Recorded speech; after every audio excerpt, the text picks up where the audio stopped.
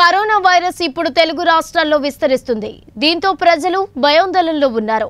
నెల్లూరు జిల్లా కావలి మండలం అనేమడుగు గ్రామం గిరిజన కాలనీలో ఒక వ్యక్తికి కరోనా వైరస్ పాజిటివ్గా నిర్ధారణ అయింది నిత్యం వీధులు దుకాణాల దగ్గర కలకలలాడుతూ ఉన్న గ్రామ వాతావరణం ఒక్కసారిగా కలకలం రేగి నిర్మానుష్యంగా మారింది.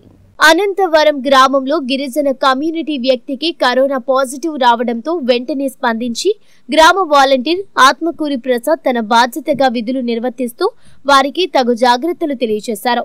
ఈ సమాచారాన్ని ఉన్నతాధికారులకు తెలియజేశారు. ఈ సందర్భంగా సచివాలయ సెక్రటరీ శ్యామసుందర్రావు మాట్లాడుతూ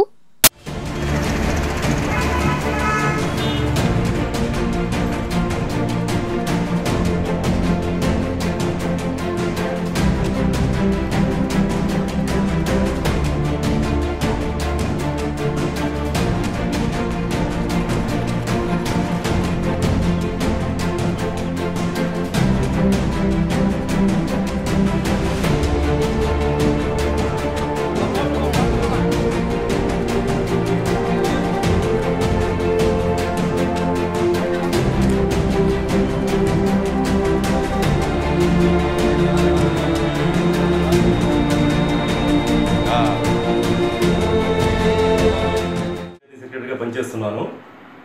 నిన్న తగదర్తి మండలం అనంతవరం గ్రామం నుంచి ఒక వ్యక్తి అక్కడ బ్లడ్ శాంపిల్స్ ఇచ్చి ఎవరికి చెప్పకుండా మా ఆనిమూల గ్రామ పంచాయతీకి రావడం జరిగింది ఎస్టీ కాలనీకి.